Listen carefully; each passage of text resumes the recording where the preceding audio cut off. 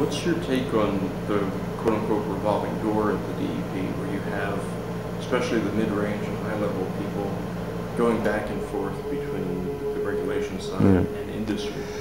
Look, that, that is, uh, for good or for bad, a, an issue with our American democracy. I think you see people leaving Congress and then they go make significantly more money to lobby Congress. I know they have to take this one year or two year hiatus. I, I think you see that in um, presidential administrations on both parties.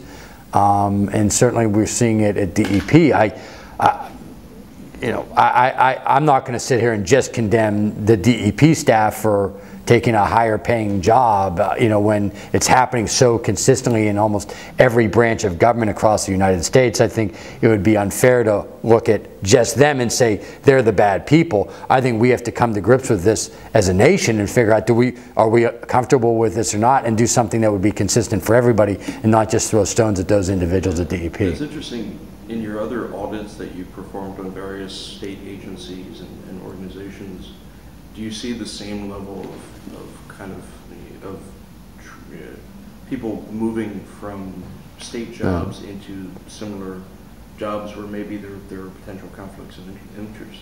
Um, here's what I'd say to that. Uh, we haven't seen it to quite that degree, but you also don't see the same degree of money that you see on the drilling side of it. I think if there were other agencies that had people on the other end that had that big of income. Oh, look, I, I think oh, PennDOT's viewed as one of the best trainers for engineers for private engineering firms. You get you come into PennDOT, you get your good experience, work four or five years, and then you make a lot more money in the private sector. And I'm not necessarily even saying there's a side of that that isn't the worst thing in the world, as long as there's clear separation in roles and people aren't using undue in- uh, influence in their new role to skew the results on the other end. So as long as that's happening, I'm you know never going to knock someone for you know getting a you know, job that you know they think pays more money, helps them provide better for their family, as long as there's not inappropriate influence on the back end. But this is this is a nationwide issue. That's a, I just it- it's real. I'm not trying to you know say anything other than it's not just the staff at DEP that did this.